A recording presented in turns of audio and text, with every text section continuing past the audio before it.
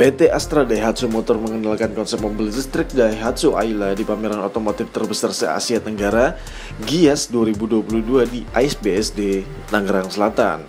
Motor listrik tersebut diberi nama Ayla EV Riset mobil listrik Ayla EV sudah dilakukan sejak akhir tahun 2020, kemudian dikembangkan pada 2021. Selanjutnya pembuatan desain Ayla EV pada 2022. Belum diketahui pasti kapan mobil konsep tersebut Ayla EV akan diproduksi sebab masih dalam tahap studi. Kita sudah sangat familiar dengan mobil ini. 253 ribu sudah kita buat mobil ini. Jadi kita punya banyak bahan riset yang tadi ya. Kita udah bahas quality, comfort ke customer dan termasuk safety. Kita bisa mengenali unit ini dengan sangat baik. Risetnya berapa lama Bu?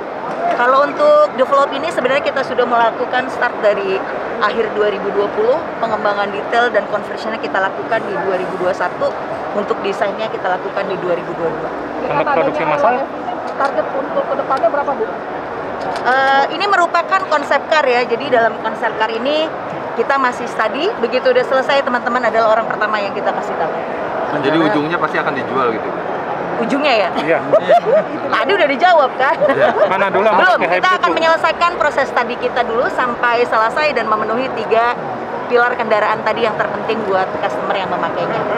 Kalau deadline-nya kan mungkin? Ya? Deadline tadi? Pengennya ngikutin yang paling cepet kan. Pasti begitu selesai semua study dan kita percaya ini bisa dipakai untuk customer, pasti kita akan info secepatnya kepada customer.